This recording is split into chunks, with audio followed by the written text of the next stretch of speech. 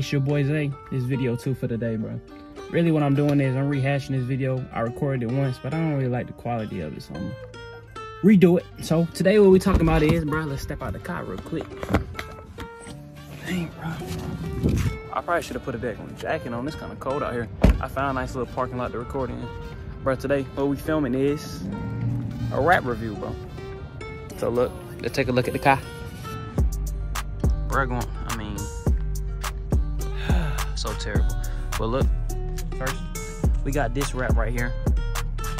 It's just a gloss black, and then we have the Teck wrap. Kind of like a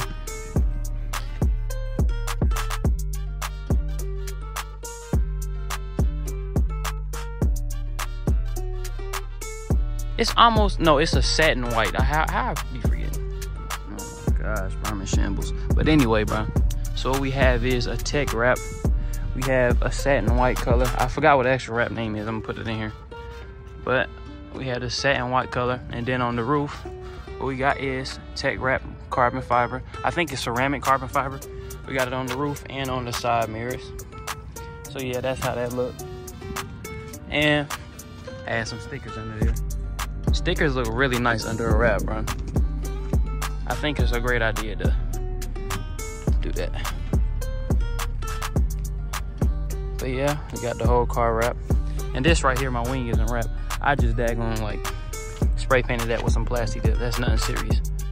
Been, I don't know, about a year since we had the car wrap and it's been holding up really good. The only problem with it is, is this right here on the front. See on the front, got some, you know, holes in the wrap. But that's because the freaking first day I got the car wrapped, bro, it's bad. But the freaking first day I got the car wrapped, bro, I was driving behind a truck, and you know them trucks, they carry all them little rocks and sand and dirt up here.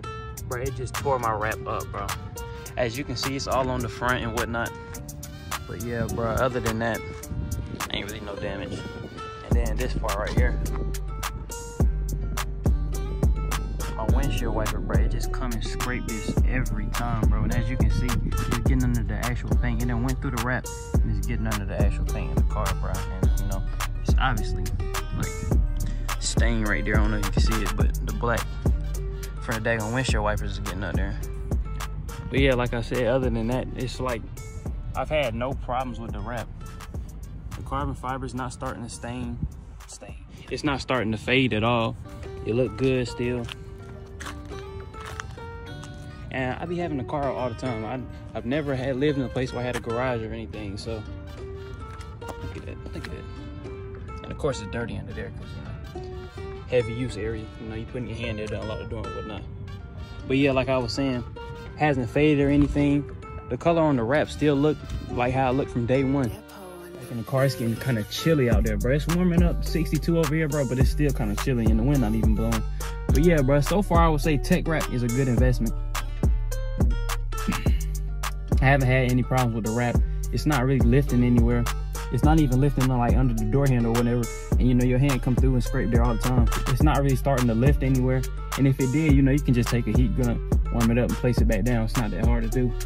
But yeah, it's been about a year. I've had no problems with Teck wrap. And I was hearing from rappers and stuff like I watch on like YouTube. I suggest you do this too. Before you ever install something on your car or you looking to get a wrap or anything, watch a review on YouTube just to see how it is, you know, or their opinion on some things. And that might not always be true because, you know, it's an opinion and it's pretty much biased.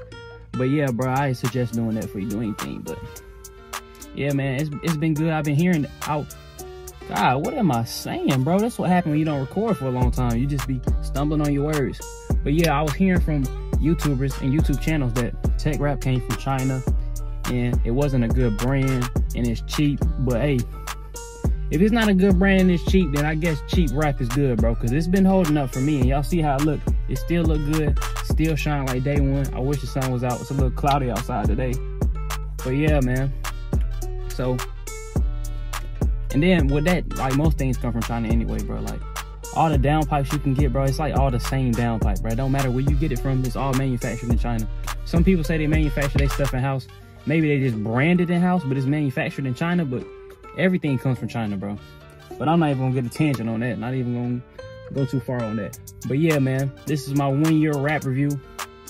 No staining, no excessive damage, no peeling, no nothing. It's A1 since day one, bro. So yeah, it's been a short little video with your boy Zay. I'm wrapping up this video and I'm gone. But before you go, make sure you like, comment, subscribe, bro. Let me know what y'all want to see in the comments down below, bro. And I appreciate y'all for watching, like always. I'm going for real this time.